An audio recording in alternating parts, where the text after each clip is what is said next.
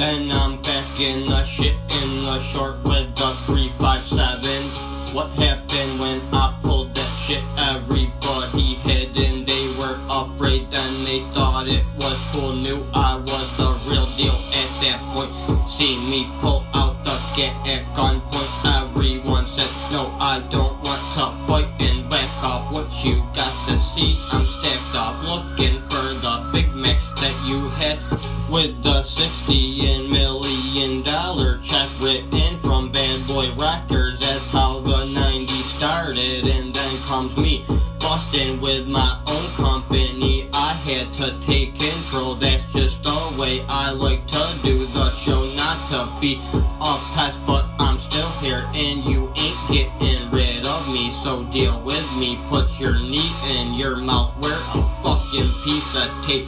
Stop commenting if you don't like me. Like the sight of me, just stay off the fucking team. Yeah.